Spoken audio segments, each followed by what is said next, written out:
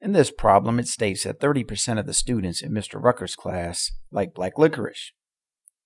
We have to figure out how many people are in his class if six students like black licorice.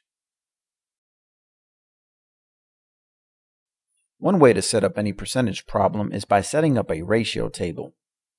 And the two units being compared as our ratio will be the part as compared to the whole. The percentage given is 30, and that is going to be our part, and right next to that in the whole column we write 100, because a percentage is always out of 100. The next thing we have to do is figure out where's the number 6 going to go in our ratio table. Well, it says that 6 students like black licorice, and we know that not everybody in this class likes black licorice because only 30% of the students like it.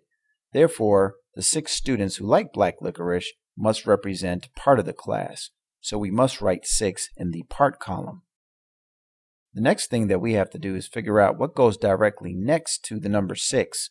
So 6 compared to that whole is equal to 30 compared to 100.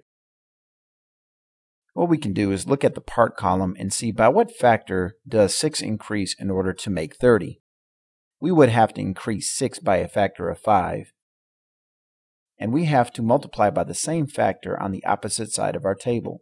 So whatever goes in that blank must also be increased by a factor of 5, and 20 is the only number that we may multiply by 5 to come up with a product of 100.